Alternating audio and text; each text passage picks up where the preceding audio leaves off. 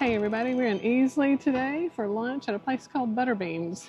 We were looking for a somewhere different to eat and we were just Googling places and this popped up so we said let's try it. So we're gonna go in and see how good it is.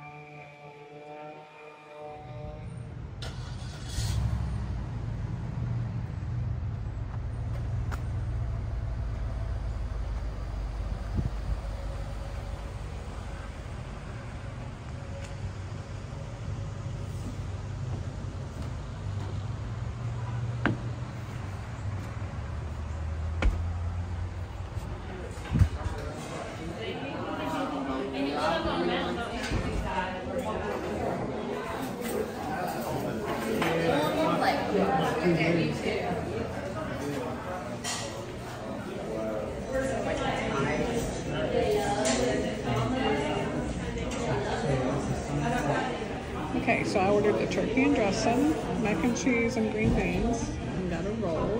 And Richard, you got what? I have the steak and gravy, the green beans, and the speckled butter beans. Okay, it all looks good. Macaroni and cheese looks good.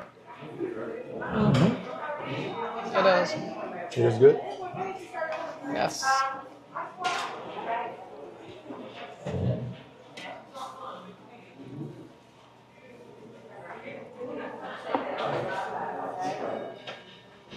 Okay, this dressing is delicious. Oh, great. I think we found a good place.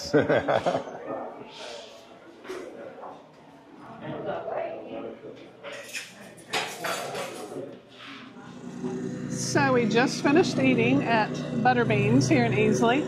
I got the turkey and dressing with green beans and mac and cheese.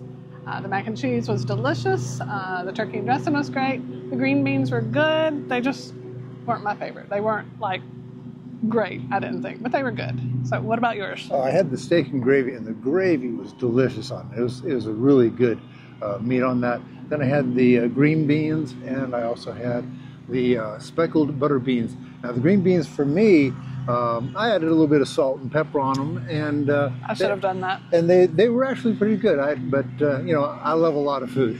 Okay, so if you're looking for a good meat and three or meat and two, whatever, this is a great place to come here in Easley called Butterbeans. Yeah.